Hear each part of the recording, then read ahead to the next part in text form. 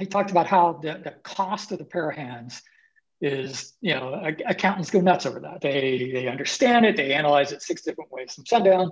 You know, it cascades up through, you know, all the, you know, absorption rates, all that kind of crap. And, but there's no offsetting value on the balance sheet for what's in the head. And so it's purely a cost when, you know, all of us know that a person yeah, there's there's maybe a payroll cost, but there's all this value too that it more than balances it out, especially if you use it right. And and uh, that's what leads to these companies making these screwball decisions to, you know, let's move a manufacturing operation, you know, you know, 2,000 miles away to save a buck an hour in labor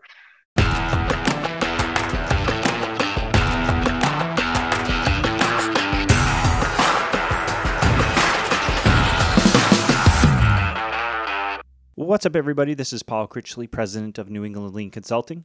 Welcome to another episode of the New England Lean Podcast. I'm so excited to bring you this episode this week because we've got Kevin Meyer. Kevin Meyer is the co founder of Gemba Academy, which provides over 2,000 Lean and Six Sigma videos to thousands of organizations worldwide.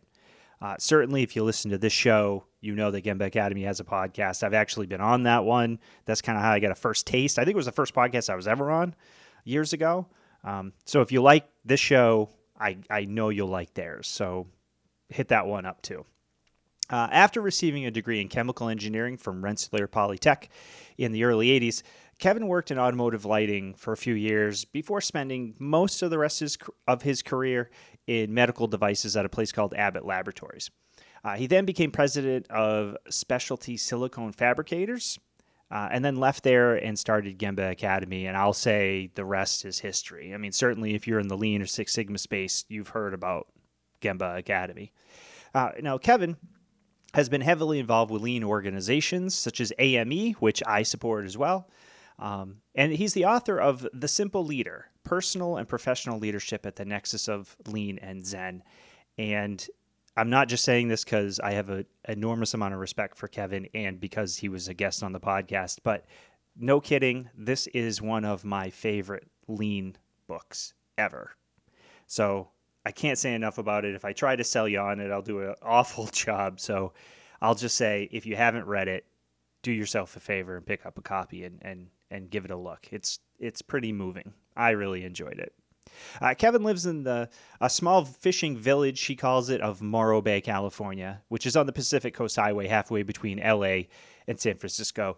And if you don't follow him on Twitter, Twitter, you should. Uh, he posts uh, these these amazing pictures of these California sunsets over the beach that is right outside his house.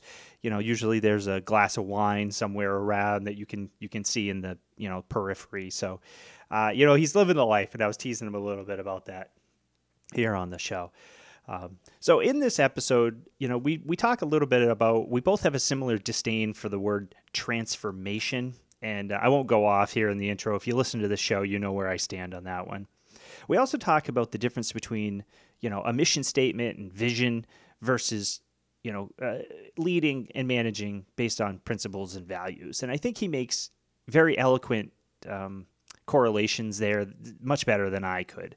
Uh, but I, I happen to agree with him um, on some of the statements he, or on on the statements that he made because you know when we uh, I'll lead a workshop and I'll talk about mission statements and I'll say you know I bet your mission statement something like we seek to be the supplier of choice for XYZ widget or service you know worldwide and blah blah blah blah right and generally people are nodding and I said I'll bet you you couldn't recite it but you know it's posted in the break room and people are like yep that's basically what it is so I'm not a huge fan of them either. Uh, we also talk about being toolheads. Um, so we talk a lot about just that. You know, we both made the same mistake, and I don't know if that's because we're both engineers. I, I don't know, but uh, we both made the same mistake early in our careers where we really focused a lot on the tools of lean and kind of, I'll say, missed the mark. I'll speak for myself um, on that one, where we kind of uh, undersold the culture piece and how important that was. So it was really a great episode. I was so happy to be able to finally see Kevin. He and I have had some some near misses. We were supposed to hook up and and meet up at AME Chicago.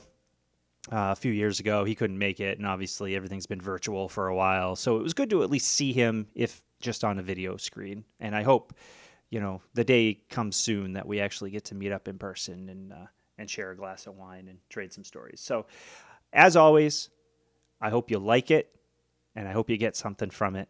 Have a great week, everybody. We'll talk to you soon. All right, welcome to the New England Lean podcast. My name is Paul Critchley. I am your host, and today I am very excited to have Kevin Meyer with us. Kevin, hello. Hello, thank you. How have you been? Um, it's been an interesting year. yeah, no kidding. Um, so we follow each other on Twitter, so I see all your, you know, uh, California coast sunsets and the wine glass and the whole thing, and I'm like, man, how do I get that guy's life? well, that that's been an interesting thing. in the last year, I've uh, I, I, was thinking about. I don't know who asked me. If it was Mark Graban or someone, but or is in one of the discussions we were having, and it's like, yeah, how many times have I worn long pants in the last year? And I think very literally, I think it's probably about three. Yeah. And uh, you know, and it's like, you know, what can you do? So yeah. Well, hey, it's it's good work if you can get it, Kevin. I mean, yeah, I'm yeah. very jealous over here in Connecticut. I mean, we're just now in springtime, so it's mm-hmm. it's very warm and like the grass is finally growing and everything. But I mean, I think you now you went to Rensselaer, right? Yes. All right, so you know what 80s, the weather so. can be like over here. Yes, and I actually I started on the off semester too. So I flew up in the middle of a blizzard in January to start school, and had to trudge up the hill. Those of you that know the campus is this tall hill, and and you know find security and all that at 11 p.m. and find my way to the dorm. And I was like, what the heck have I done? Yeah, but, uh, yeah, somehow made it. I so I went to Clarkson, so we're big hockey rivals. We played you, yeah, yeah. Um, but I'll tell you a similar story. Uh, my first master's degree, I ended up moving to South Carolina um, for work for a little while. Mm-hmm. So I took a class at Clemson. And the same mm-hmm. as you. Now, Clarkson, for those who don't know, is in Potsdam, New York, and it's way up near the Canadian border, way up on the eastern hump. So it's like Syracuse and two and a half hours north of there. So it's very mm-hmm. far north. Um, it literally snowed the day I graduated in May. So right? Contrast that to I'm in South Carolina in summer and I drive to the Clemson campus and it's 180 degrees different. And I'm like, why? Mm-hmm. Why did I go to school where I where I went? I could have been down mm-hmm. here. But yep. In any event, so Kevin, I'm sure a lot of people who listen to this show, I'm sure probably know who you are, but on the off chance that we're reaching somebody who doesn't, could you maybe just hum a few bars about your background and kind of what you've been up to? Uh, well, the, the real brief history is I got a degree in chemical engineering from Rensselaer back in the 80s. Uh, worked for Sylvania Lighting as a manufacturing engineer for a few years, then uh, decided uh, the Boston area was a little too cold, so I moved to California um, and uh, worked for Abbott Labs making medical devices, mostly drug infusion pumps, uh, for many years, actually for 10 years, eventually at their Salt Lake plant uh, running a molding facility for them then, and then uh, decided to move to California again and uh, did some telecom work, but ended up at another uh, silicone uh, medical device company uh, that I was president of for about eight years. And then while doing that and doing lean all through those years, there's you know, I was introduced to lean inadvertently during at the Sylvania days, and then very formally in the Abbott days, and um, but I got together with John uh, Miller and Ron Pereira, and we started Gemba Academy. And that is that was in 2009. So what is that? 11 years now, I guess. Just pretty crazy. Uh, and we've been doing that ever since. Uh, just uh, creating a lot of videos for people on how to do Lean and Six Sigma. Mm-hmm.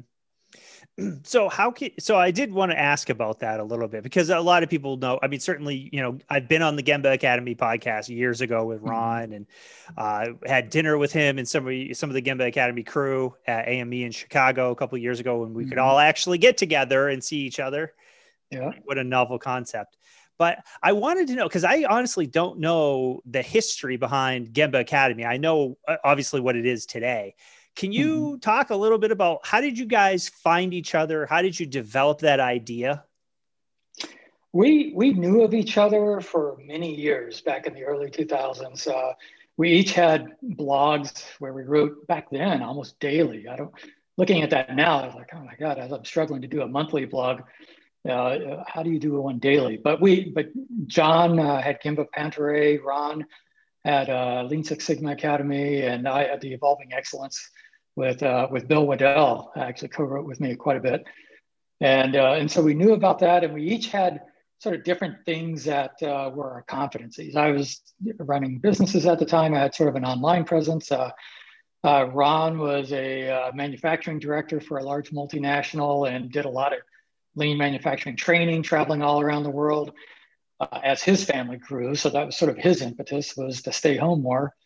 And then uh, John, uh, you know, he grew up in Japan. He translated for some of the original Toyota guys. He knew the content probably better than almost anyone in the world right now. And so it's like, how do we get together and you know and do something with this? And uh, and so that's when we decided back, uh, oh, I don't know, 2007 ish, I want to say, to do something. It took a couple of years to really come together. There are some technologies we wanted to have in place before we launched.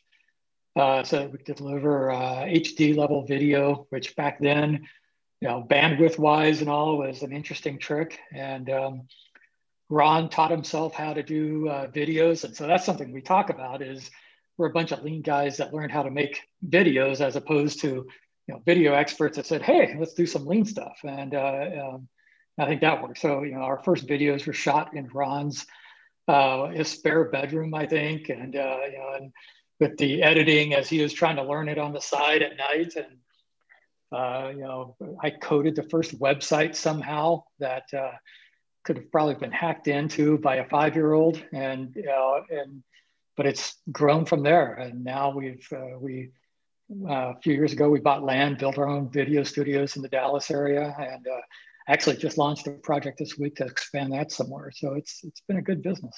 Nice, that's cool. See, I didn't. I've always wondered, you know, kind of what the the backstory on that was a little mm-hmm. bit. So your history. Now you talk about it in your book, and I will hold it up because I do own it. And I, before we hopped on, I told you this is one of my favorite ones, and I'm not just saying that because I'm looking at you. Uh, this was one of the reasons why I asked, I reached out to see if you would come on. Mm-hmm. Um, so I just uh, just recently on LinkedIn, I did a little video tour of my bookcase, and I'm trying to get other people maybe to do the same because I always do. Anytime I'm on a Zoom, I'm always kind of looking behind people to see mm-hmm. what's on their bookcase. So I figured, well, I'll just post what I got.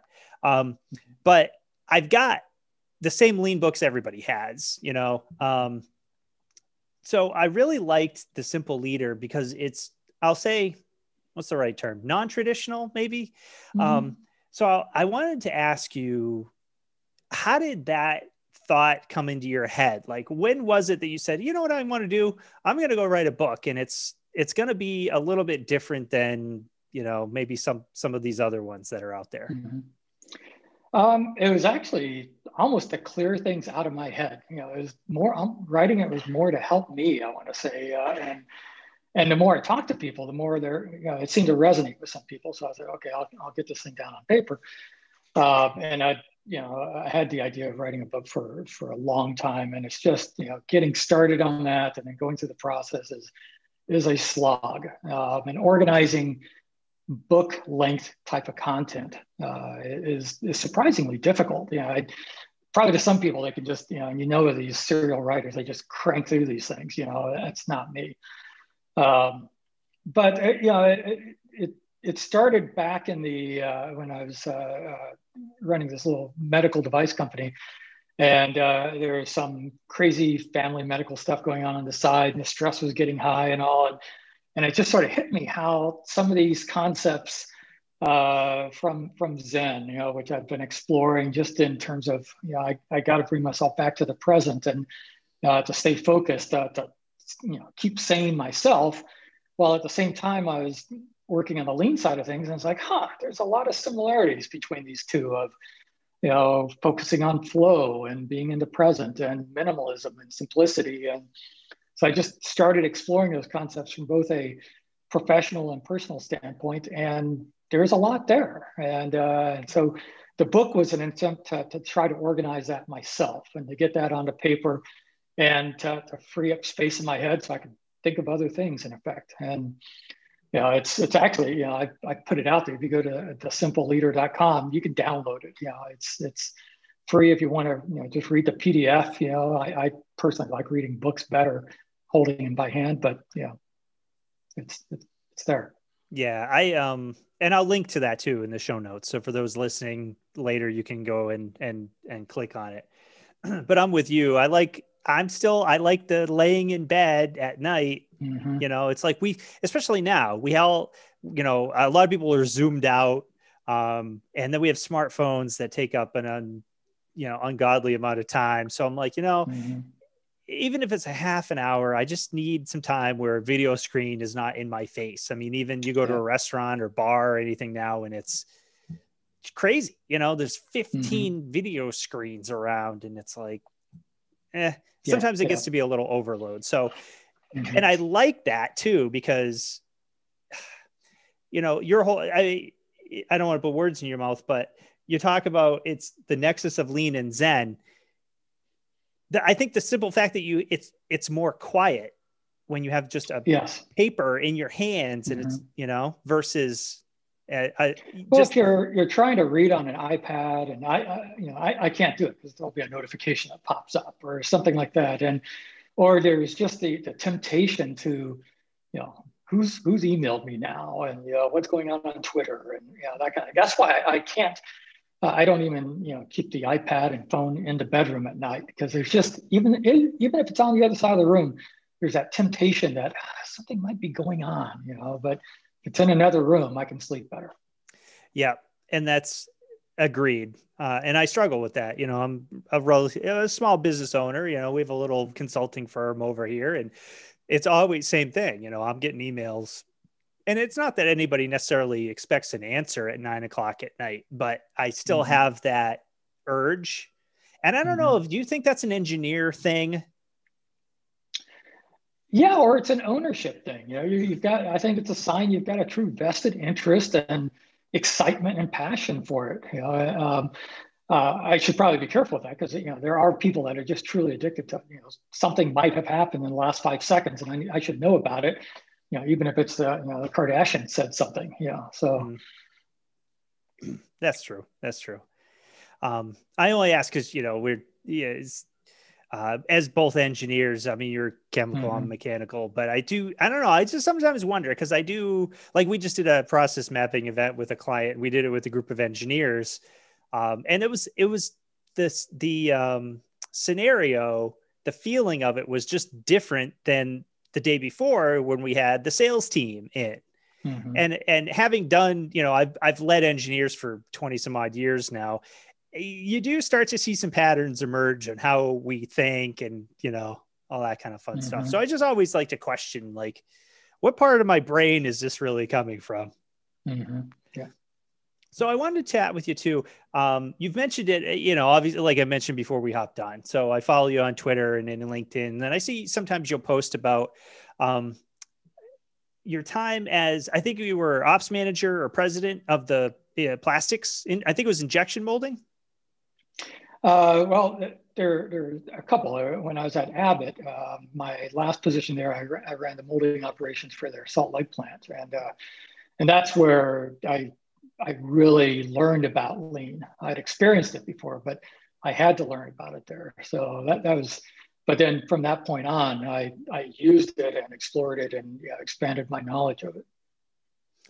Can you talk a little bit about that at when at that point in your career, in your learning mm-hmm. curve?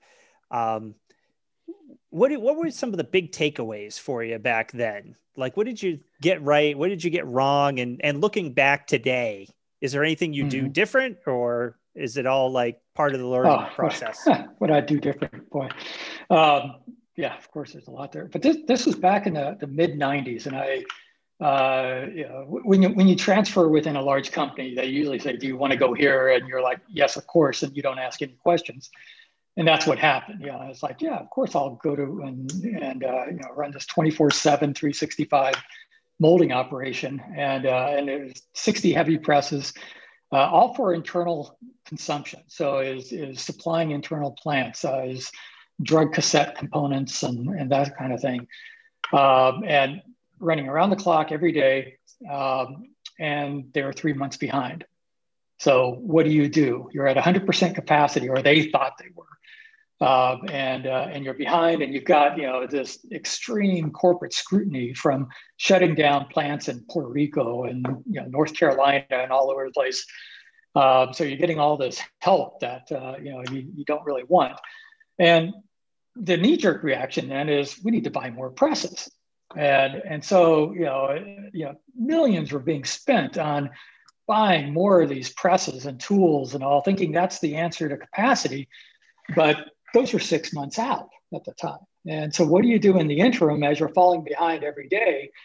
Um, and that's where I reached out to AME and, and met uh, uh, uh, Doc Hall and uh, Dave Hogg and Dan McDonald, some of those guys that have been with AME for a long time. And they're more than helpful. And that's why I've, I've been AME's biggest fan for a long time. You know, they, and the first thing they said is, well, if it's a molding plant and you got a capacity issue, let's talk about quick changeover first. And so they walked me through the, you know, converting internal to external and, you know, some of those processes. And, uh, and it was like a light went off, you know, as we're looking at these presses and we're, you know, we got 120 cavity tool that we're running at six, 60 cavities because we're scared to take the whole thing out and fix it. Um, and, uh, you know, and we're just running the wrong things and so on and so forth. And uh, so we just started to work on this. And uh, probably within three to four months, we were rapidly catching up by just doing better things, learning and doing better things. And that's what taught the team that, wow, this stuff is really working. And that's often the biggest struggle in a, a lean implementation is you don't have a quick win like that to really get people stimulated, but we did. Um, and so by the time those new presses were coming in after six months, we were ready to retire old presses. We had been caught up and we were retiring old presses. And uh, and so that was really, uh, holy cow, there really is something here, and I need to learn more about it. Uh, uh, you know, at the time, it was still a new concept, uh, especially within Abbott, uh, and and so I ended up moving on to, you know, so I could use the the, the concepts better elsewhere. Since then, though, you know, Abbott's become very good at this, uh, and so I'm, you know, which I'm very happy to see. Yeah. Nice, nice. So, um, can you talk a little bit about how you how you got the team uh, kind of sort of excited? You, know, you mentioned you got a quick win. Um, like mm-hmm. for instance, a lot of our clients are small to medium sized manufacturers over here in between Hartford and Springfield. We call it Aerospace Alley because Pratt and Whitney's right in East Hartford, and there's a lot of tier one, twos, and threes right up and mm-hmm. down the I ninety one corridor. Um, and that's one of the things that uh, you know we work with clients a lot on is how do we roll this whole thing out because even now in 2021 it's still new for some folks you know mm-hmm. maybe they mm-hmm. did a little yeah. bit of 5s you know a few years ago and you can kind of see there's some signage up and some shadow boards may or may not be getting used anymore how do you mm-hmm. keep you know if this was new at abbott in the plant that you had uh, responsibility for mm-hmm. how did you get people to try without pushing back real hard at first?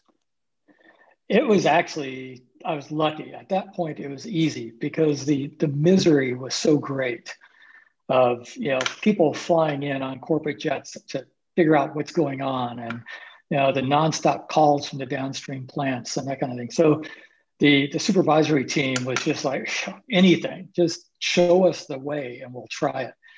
And uh, and so you know it was a quick win, you know, and and you could see it from, uh, you know, let's just try anything, and in two weeks, you know, we get one press up and running and, and cranking out more than it had before, and then you know, it's how fast can we do the same thing for the rest of them, hmm. uh, and so that that was easy.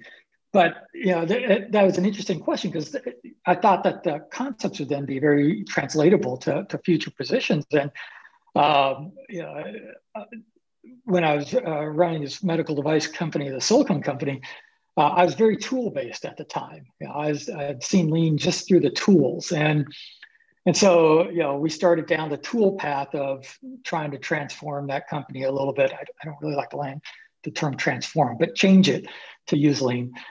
And uh, you know, and the tool head of me is like, huh, let's just pick two tools a year and get good at that. Mm. And uh, and we did that for a couple of years. Didn't really go too far until uh, I think it was our QA manager, just stopped me in the hallway and said, you know, why? Why are we doing this?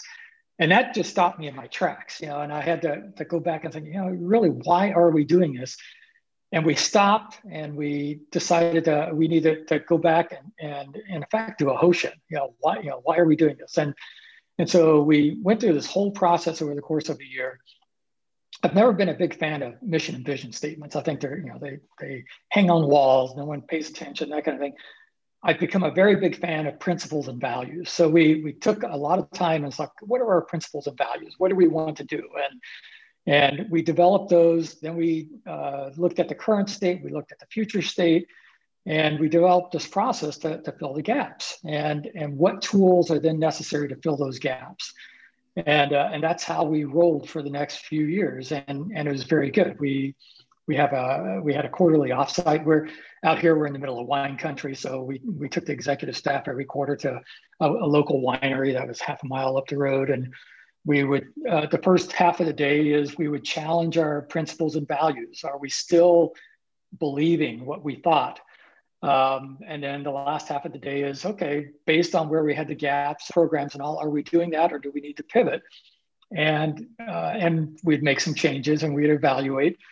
And we'd always have a scribe because we'd spent the, the last half of the day just drinking wine with each other. So that was sort of our you know camaraderie kind of thing, and uh, you know, and that probably helped you know develop the team and get everyone on board. But uh, um, but that worked very well. Once we had that why and, and and it was grounded in principles and values, people could see how it was taking us further. And uh, and, and we we spent a lot of time on training people. We took uh, people through the five dysfunctions of a team to get everyone so they can be open and honest with each other, which if you've ever done that over a period of time, that can be a brutal process, especially the last phases of, you know, stand up and have everyone criticize you. You know, that the it's exercises tough. are, are tough, but when you get through it, the openness you can have as a team is just phenomenal. Mm-hmm and that's where I so uh, a couple of things popped in my head. I agree with you. I I make fun of mission statements probably more than I really should because uh, we we actually consult on quality management systems also. So mm-hmm. part sometimes it's you know especially like quality objectives and all that stuff we have to have, but I'm with you because you know, in some of our workshops, I'll I'll I'll pick on mission statements and I'll say, let me guess, everybody in this room, your mission statement is we strive to be the supplier of choice for product or service yeah. here for blah blah blah blah blah, right? And and it was like, yeah, that's basically what it is. Um, mm-hmm. There was actually one time I went into a, a pretty large. Uh, they didn't turn into a client, but a pretty large company, and I had their mission statement from their website. And uh, one guy you know, I'm going through the whole thing. We are talking about uh, Hoshin and strategy deployment. Mm-hmm. And he raises his hand. He's like, where is that from? I'm like, where's what from? He's like, well, this statement you've got up here is, you know, I'm like, well, it's, it's yours. and didn't, didn't even know, didn't even have a clue. And this is a giant multinational. I'm like, oh, mm-hmm. well, see, there you go. And it was super wordy. It's like 10 sentences long. I'm like, you know, it doesn't mean anything at that point. It's just like no. we we just want to be the best. They're they're they're kidding each other, uh, you know, themselves, and you know their mission is to make a lot of money. You know, just just be honest with yourself if that's the case. Right, right. But the other thing I um that you mentioned is, you know, if I've as I've done this, I was toolhead too. You know, way back I was at a tier one automotive manufacturer, and that's where I kind of started to learn about lean. And it was the same thing. I'm like, oh, I'm an engineer. I'm a, I'm a, you know, I'm a car guy anyways. So I'm like, oh, tools. I like, you know, I what can I do with this fun new toy? Um, I've come to learn more or believe more now that it's really about the relationships that we have with each other. And mm-hmm. to your point, some of the best uh, departments, areas, cells, whatever companies that I've ever worked for or in or with is when we have that open and honest relationship mm-hmm. to say, Kevin, I think that you know when you did this or you did that it's like i didn't like it and you know did you understand that you could do this and if you if we don't respect trust each other yeah. then you're going to get defensive then i'm going to get angry right the whole thing just we've see we see it play out a million times a day mm-hmm.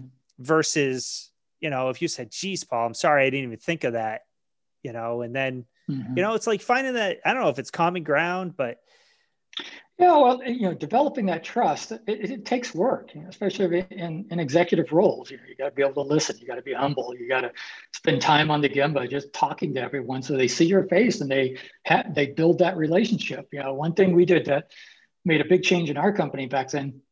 We had the the Obeya meeting every morning, you know, and it was a cascading kind of thing. It started on the shop floor and uh, went up to the departments, and then it, we had our executive staff where we had a video link to the other plants, and we'd have you know, a stand-up meeting.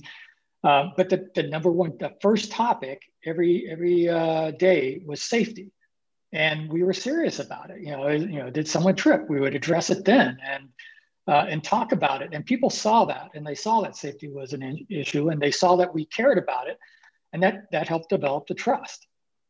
Right, right. And I mean, we you probably see it online as as much or more than as I do.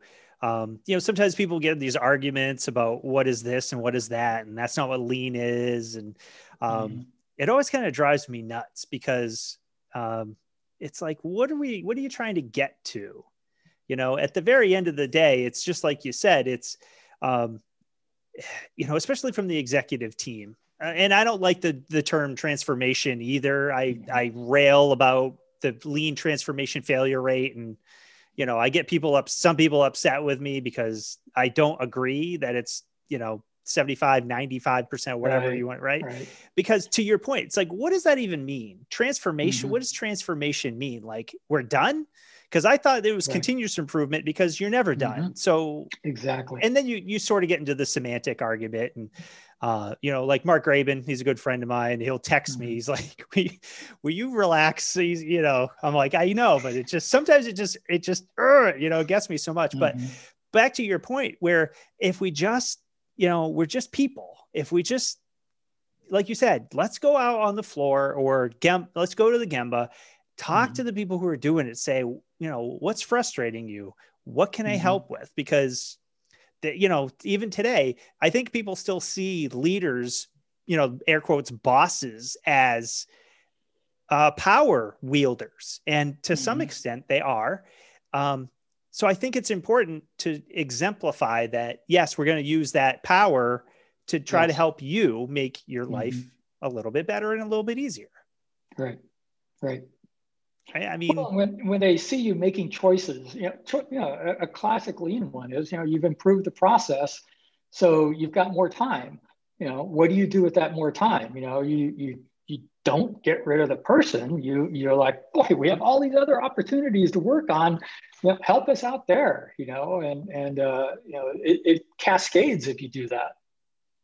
Right, right, and that's where it's just you know, I've had the discussions before, you know, not not as a consultant, but as a ME manager, that you know, there's still some people as recently as a few years ago that they're like, yeah, you know, that's all on paper. The savings is all on paper because unless you're reducing headcount, mm. I'm like, no, you can yeah. t- just you know, if I can make you know 50 of these things in the time it used to take me to make five.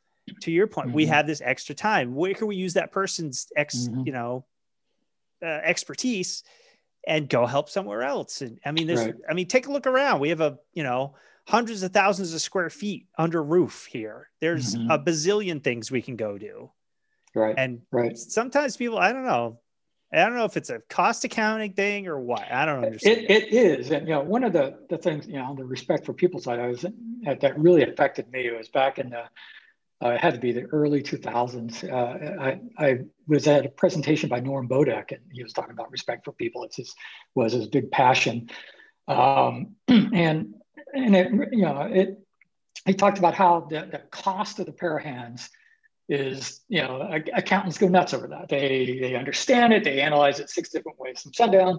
You know it cascades up through you know all the you know absorption rates, all that kind of crap, and but there's no offsetting value on the balance sheet for what's in the head. And so it's purely a cost. When you know all of us know that a person, yeah, there's there's maybe a payroll cost, but there's all this value too that is more than balances it out, especially if you use it right. And and uh, that's what leads to these companies making these screwball decisions to you know, let's move a manufacturing operation, you know, you know, 2,000 miles away to save a buck an hour in labor when, you know, you're going to lose all that experience and knowledge and creativity and all that kind of thing, you know? And so, you know, you, you see these, you know, better companies that understand that and they can redeploy that and, and know that there's value there and they'll, they're willing to wait for it to realize itself through ideas and that kind of thing. But yeah, that that's hurt that, that you know, the pure accounting mindset. Yeah, and that it, uh, I'm not trying to pick on accountants. So if any, I have any accountants listening, I'm not picking on you. It's just because the, I'm thinking about this one particular uh, person I used to work with. He was not an accountant. Actually, he was a, a, a, a business manager. Um, so he had all the cell leaders that reported up to him. So, so it was like an ops manager, but just he was just one of these guys. He just didn't get it and and he mm-hmm. wasn't listening to me because I was trying to. I'm like, well, you know, just think about this, that. He's like, eh. He just, you know, you could just, I could just see, you could see it on his face. Um, mm-hmm. And it's mm-hmm. interesting, you know, um, one of the videos we use um, is a cell phone video from uh, Carrier. I don't know if you mm-hmm. remember this, but this was all in the news um, in like 2016 because um, uh, Trump got involved. So Carrier had announced they were closing plants in the Midwest and moving them to Mexico. Um, mm-hmm. So there's actually a cell phone video that somebody uploaded on YouTube from somebody in the crowd, and and I use a piece of that video in some of the workshops to talk about just what you were describing because you know here you have all these you know people that have worked there for umpteen decades maybe yeah. even right and all mm-hmm. you know and so the video is of the I, I don't know who it is plant manager gm somebody and, you know, he's standing at the podium and he's like, just wanted to let you know we're closing the plant. Sorry, it has nothing to do with you. It's a business decision. Mm-hmm. It's going to go, you know, happen over the course of the next year. And then he says, my favorite part, Kevin, and I'll paraphrase. He's like, but, you know, we know we can count on you to do the great job that you've always done. And yeah. I'm just, you know, so, and actually, people will groan in my class, you know, watching mm-hmm. the video. And it's just like, yeah. Why? To yeah. say, all right, because to your point, you look on a spreadsheet somewhere and well, we can do the same thing over here, and we're going to save half a mm-hmm. million, a million, five million, whatever it is over the course of a year. Mm-hmm. It's like, yeah, but mm-hmm. what about all the what about all the stuff you can't? It's not tangible. Yeah, all the the ideas and creativity that that that was you know, especially being back in the you know the molding operation days, you know, the big thing back in the you know the late '90s was you know, trying to get to a lights out operation, you know, having everything roboticized, you know, just, uh, you know, and, uh, and, you know, it's like, well, I wonder how many ideas those robots come up with every year that help improve the operation. And, mm-hmm. you know, and, uh, you know, what would happen, you know, if you had a, a lights out operation next to one that, yeah, initially was higher cost because there are people involved, but over 10 or 15 years, what would happen side by side on those? Where would they be? Yep and that I think, yeah, you're right. Cause I have those similar conversations sometimes. People, you know, and I have to chuckle a little bit anytime uh, a newspaper will have an article about the robots taking over, you yeah. know, and automation is going to take away 15 to 25% of the manufacturing jobs. And it's like, mm-hmm. all right, didn't I just read this article five years ago, 10 years ago, 20 yeah. years ago in mm-hmm. 1984 from George Orwell? You know, it's like, when is this robot apocalypse supposed to happen? Just so, cause I want to yeah. mark it on the calendar, you know? Yeah. yeah. I don't know. Uh, you know, and again, I'm a career manufacturing guy, so I don't know. I'm a little it's my personal opinion, but mm-hmm. I I am jaded because to your point, robots do one thing great. And that's mm-hmm. but that's all they'll ever do. You mm-hmm. know, and and you know, people that like them, well, they never call in sick and they don't complain and they don't do this, that, and I'm like, yeah, but that's all you're ever gonna mm-hmm. get is you're gonna hit go and it's just gonna go. And yeah. You know, yeah. what happens when there's a rev change on this widget and mm-hmm. the design changes? I mean, mm-hmm. we got to. Well, that, that, that was really driven home. I, I visited the, uh, the, Toyota plant in Kyushu in Japan uh, many years ago uh, as part of a tour. And that's what you really, what you come away with. There's, you know, the robots are used when there's a safety issue or to lift heavy components or, you know, things like that. But everything else is manual and it's not a low cost, you know, country uh, by any means. But and there's very few computers on the floor. Everything is you know is manual Kanban on the floor. Um, and it's it's uh, you know a multi-model you know operation you know one piece flow so you know they can be building a, a truck and then a, a Lexus sedan and all you know just one right after the other. There's no heavy you know computers monitoring or controlling that. It's just you've got your Kanban sequence. You know what to pull, and you know everyone has the power to stop the line. People have heard those stories, and and uh, you know changes are happening all the time. It's it's it's incredible to see. Yeah, I haven't been to I haven't been over to see that, so it's, I'd be interested to. But you know, similar, we um, uh, Toyota built a uh, transmission plant in Buffalo, West Virginia, and that was the project I was on when I was in South Carolina. So I did get to go there as they were. It was a whole greenfield site. It was brand new building, mm-hmm. the whole thing. So we got to go a few times as they were building it up, and that's one of the things that struck me as well. It's like where are all the you know robots and stuff and they're like no what are you uh-huh. talking about we actually they actually i can remember they had this giant pegboard that they had torque converters on so once an hour they'd pull one and keep it there as a rolling 12 hour thing hmm. and i'm just you know i mean it looked nice but it wasn't you know it wasn't like it was just a basic a frame piece of plywood mm-hmm. you know it's huh. like so it, it works it doesn't have to be space age materials. Right. Mm-hmm. So, Kevin, we do like to take a little short little break and play a thing I like to call the wicked fun part.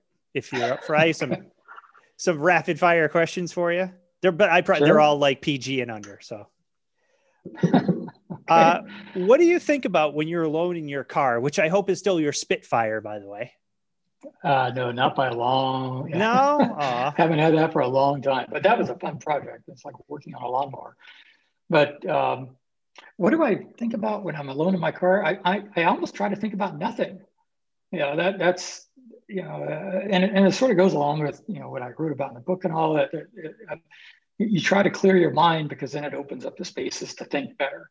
Hmm.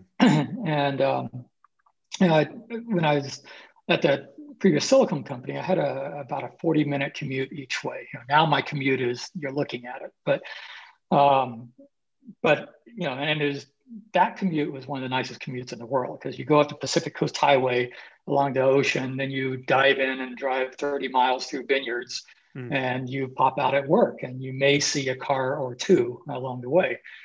Um, but that became yeah, I really enjoyed that. You know, on the way into work, you know, you think about what are the two or three things that I'd want to get accomplished, and then on the way home from work, you you let work go. And uh, and I worked hard about, I still do about keeping work in its space and its time, and and uh, you know, and, and so that was very mentally clearing, I guess you could call it. You know, clarifying in the morning, clearing in the afternoon. Uh, but now when I drive, I, it's almost always, you know, silence. I rarely have the radio on, and it's just trying to think about nothing. Hmm. Interesting. Not even a radio. Huh. Okay. Fair enough. Uh, speaking of that, what is your favorite song and why?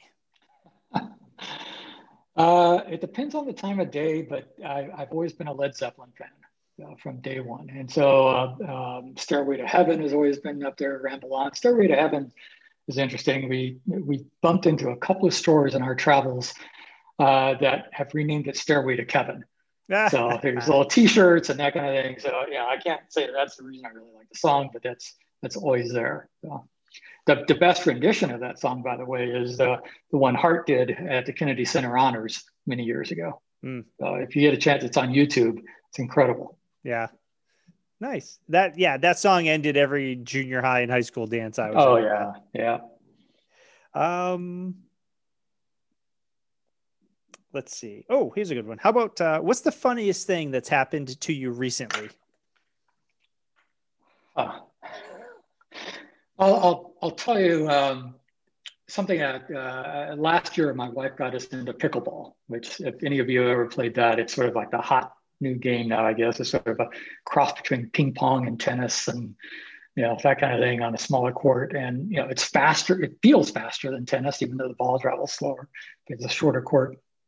Um, and and we do that almost every day now. But you know, out here on the on the Central Coast, there's there's some interesting characters, you know, that that may have used some substances a little too much in their early days, and and so there's some interesting things that go on. And and a couple uh, weeks ago, one of them had the idea of you know that the courts aren't lighted, that they wanted to keep on playing, and they had a whole bunch of glow sticks, oh, and so no. it turned into glow stick pickleball, where you just had these things you know tied onto yourself, and it was pitch black and there's some uh, yeah i think i might even put a video on twitter on because it is just is is crazy that you're bumping into each other and this thing was floating around and yeah it's it, it was pretty amazing. Sounds like fun though. Yeah. Um what are you working towards now in your free time? Because i know in the simple leader you kind of uh, you you know you wrote the book yeah. you you rebuilt mm-hmm. the spitfire you right did a whole bunch of stuff. So what are you up to now well, something I work for toward in my free time is to have more free time right now. So I'm, I'm really, you know, this year trying to work at, you know, how do I rearrange work? You know, instead of focusing on how, how am I, you know, be more productive at work and what's my best work time, which I wrote about, you know, is all about, you know, when do I work best? Now, I, you know, as I approach retirement, whatever that looks like, uh, I sort of rearrange that to how do I optimize my free time? So that I have more time for that. So I've, I've uh, flipped it, I guess. And so I'm, I'm looking at, you know, what am I doing that I don't need to do, that I don't want to do? Uh, you know, uh, Greg McKeown's book, uh, Essentialism, had a big impact on me a few years ago. And, and, you know, just saying no to more things and, you know, stopping things. And if it's not a hell yes, it's a no. And, you know, that kind of a thing. So I'm trying to apply that to a lot of things. And so you know at, as i'm going through the day i'm trying to analyze what i'm doing and, and stopping what what uh, uh, what i can stop nice that's sage advice i think because as a career manufacturing engineer you know i struggle with that and i still do today mm-hmm. where it's like oh i can get one more thing done or i can just do yeah. you know especially now with i mean i've been working basically from home for a long time. But I think as everybody's been doing that because of COVID, I think people are starting to understand how the the lines can get real blurry real fast. Yeah.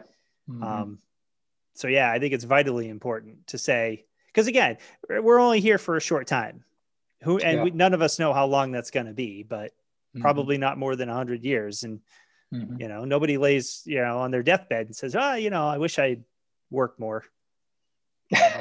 No. I wish I gotten that one project done that one time. You know, mm-hmm. I just I don't think it happens.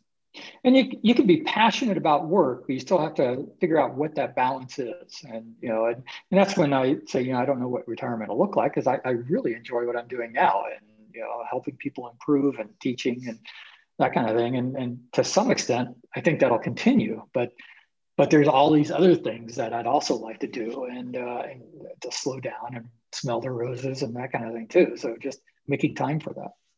Yep. And, and yeah, I'm 100%. What's your favorite word? Uh, that's a good one. I have to say some uh, one probably conundrum because it's it, it, it, there's a complexity in that word that you know you, even though I know what it means, a lot of times I'll have to go and look it up. Do I really still understand what that means? But but it also it, it's a you know it's a conflict. A conundrum is a conflict between things, and you know where it's not clear, and and so it it it provokes thought. You know when there is such a thing, you have to sit back and think about it, and and you learn things that way. Mm-hmm. How about your least favorite word? Oh, geez, that, that's easy. Got just drives me nuts. It's a it's a cheap word. It it conveys nothing when a journalist or something, I see that in an article that, that they say got, you know, someone got something like, oh boy, you know, there's so many better, more descriptive, more elegant ways of saying something, you know, that, that can convey so much more in a single word. You know? hmm. Yeah, I just thought about has that always one. peeved me, has always peeved me. Um, oh, here's a good one for you.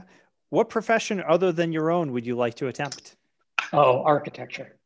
And yeah, and it was a tough call in college too. I almost switched to that. I've always been, you know, wanting to design things, you know, design a new house, design, you know, uh, you know, when Gemba Academy bought land and, and uh, built a building uh, a couple years ago, oh, that was that was a joy to me to you know figure that out, work with the art, the real architects on you know how can we lay this out because if you if you uh, have looked at video studios, video studios and audio studios, you don't have parallel walls. You have walls that are at angles so that the sound doesn't bounce and that kind of thing. And so there's all these crazy design constraints that you can have. And then how do you build, you know, an office structure next to it? And uh, so if you visit uh, Academy Studios, for example, Ron's office, which is adjacent to one of the studios, you know, he's got this sort of odd looking office that converts a, an odd wall to a straight wall. And uh, um, so there, there, there's a lot of that going on in there, but I, I love that, that process of figuring out how things can fit and how they can be best utilized. Yeah, me too. That's uh, I'm right there with you. As I can appreciate as an engineer, I guess I can appreciate mm-hmm. really well done designs that you can tell that somebody somewhere really thought about the usage yeah. and where it was going to fit and how it was going to go. Yeah. Um, yeah. Mm-hmm. Uh, yeah. I, yeah, for sure. How about um, one last one? If heaven exists, what would you like to hear God say when you arrive at the pearly gates? Oh, that I've I've helped people improve their lives. You know, I, I want to extend it beyond just their working life, but just their overall lives. And I think that's sort of the the impetus to Gemba Academy too. You know, the, the three of us have had good careers, you know, uh, through the years, and so uh, Gemba Academy was really a way to give back for that. You know, it's you know, you know what AME and you know Dan McDonald, Dave Hogg, and you know Doc Hall and those guys uh, did for me in my early days. You know, I, I want to do the same thing for other people, and you know, and Ron and Jon feel the same way. And so we've always had this philosophy from day one that if we deliver value, the business will come, and that that works. It works very well. Um, but yeah, I, yeah, I, I want to be able to give back. I want to know that's my you know biggest thrill is when someone says that I've helped them or you know helped them improve. Yeah, me too.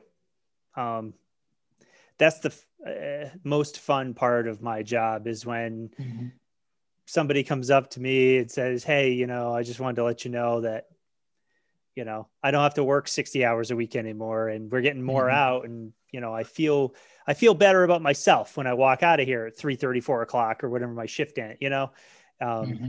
I don't feel spent, you know, and I have time for the kids now, and we can, you know, just because you're right. It, I don't know. I get philosophical maybe, but you know, I think respect for people is that's that's really what it's all about. It's you yeah. know, and and sometimes I think we confuse that, you know, that you know if if life gets easier, then we can just start filling up that with more work stuff, and it's like. Mm-hmm. No, no, it no. that's not what we're here for. I think we're here for, you know, Mm-hmm. And I don't like the work life balance. That's part of what my chapter on my no. book was. The work life balance, I hate that because it's like, no, it's just life. We have to balance right. everything. Work's part mm-hmm. of it. But well, and if you if you're doing it right, or if you're lucky enough maybe to do it right, you know, work becomes life and they're both pleasurable. And it's just figuring out, you know, what is what. And maybe you don't have to. Maybe it's this continuum instead of, you know, you come home and you do this and you go to work and you do this. So right yeah i mean pretty i've i've known folks that have done that you know and and you blink and 20 30 years go by. And it's like yeah. you look around you're like what happened? I, I just mm-hmm. never wanted to end up that way. Right. So well kevin we got just a few minutes left and then i'll i'll leave you alone. Um, is there anything that you wanted to mention to anybody to think about or consider? Um, well, I, I, we've talked about a little bit, you know, but their, their respect for people is, I don't think people realize how important, how critical to lean and just overall improvement that is. And, and it's, it's a little controversial, but that, that's sort of my bone to pick with Lean Six Sigma too, is, you know, I, I've yet to meet, uh, you know, a, a Lean Six Sigma program that really does respect for people well you know it's and uh, which is too bad because six sigma is a great uh, program lean is a great program you know lean six sigma unfortunately i think tends to be a bastardization of both and it becomes very tool oriented so you know where is the respect for people where's hoshin in lean six sigma you know again probably you know another critical aspect of lean of knowing where you're going. Um, so where is that? You know, and uh, you know, we at Gemba Academy, we've got uh, a Lean Six Sigma certification as well, and we try to incorporate that in. But uh, but that's when I look out at, at, most programs, I don't see that, and uh, and so um, I think really learning what respect for people is, and and as Jon Miller has written a few times, you know, it's respect for people is really minimizing what it is. It's really respect for humanity. It's you know you you respect your customers and your suppliers and your community and the, the world, and you know it's uh, it's why you know if you go to you know the Toyota Kyushu plant, for example, they have the smokestacks are yellow, you know, so that the community can see that they're not getting you know tarred up. They're they're still yellow. So uh, you know, there's nothing bad going into the air. And mm. you know, so there's there's a lot of that going on, and how you're contributing to society, how you're improving everyone. I I couldn't put it any better myself, Kevin. It's um, I don't know if it's an old age thing. I I don't know when I'm getting as I get older, it, but I I do. I you know I look around and I just think, what is it all for? Mm-hmm. You know, yeah, at the end, it's got to be to, to leave the world a better place. So. There you go. Well, Kevin, again, I honestly I can't thank you enough. Um, I'm sorry that we couldn't hang out in Chicago at AME. I know you were supposed to go and you couldn't make it at the last minute, but mm-hmm. hopefully, I know AME this year is virtual again. Um, but hopefully, yeah. maybe knock on wood next year, wherever mm-hmm. that may be, we can finally. Uh, Dallas. Yeah. Is that what it is? Dallas. 2022. Yeah. Okay. All right. Well, hopefully I'll see you in Dallas. Okay. Look All forward right. to it. Thanks, Kevin. Thank you. Take it easy. See you. Hey, everybody, it's Paul. Before I let you go, I just wanted to say thanks again for listening. Um, you've really made doing this podcast a very rewarding experience for me. Uh, I get a lot of messages from from listeners, and uh, you know everyone has something nice to say, which I very much appreciate. Uh, of course, I'm always open to you know feedback on ways we can make it better. I mean, that's kaizen after all, and by no stretch do I claim to have got this all figured out. So if there's things that I could do better, please by all means uh, feel free to reach out and let me know. And likewise, if there's a somebody that you think would be a great guest, um, also let me know. Um, you know, there's a chance I don't know who those who those folks are. So somebody that you can help put us in touch with, you know, somebody you want to learn more about, certainly let me know and I'll reach out uh, to those folks. But um, I hope you find the podcast fun and entertaining, uh, uh, educational, and, and maybe even a little inspirational. I hope. Um, that's really what I'm, I'm going after with this whole thing. So thanks again. And uh, one small ask uh, if you don't mind, if you listen, you know, whatever your preferred platform is, if you could just, you know, subscribe, uh, give us five stars on Apple or, or whatever, again, whatever platform you listen to, it just, it, it helps. Um, you know, the algorithms like it. So if you could do that for me, I would greatly appreciate it. And uh, we'll talk to you real soon. Thanks, everybody.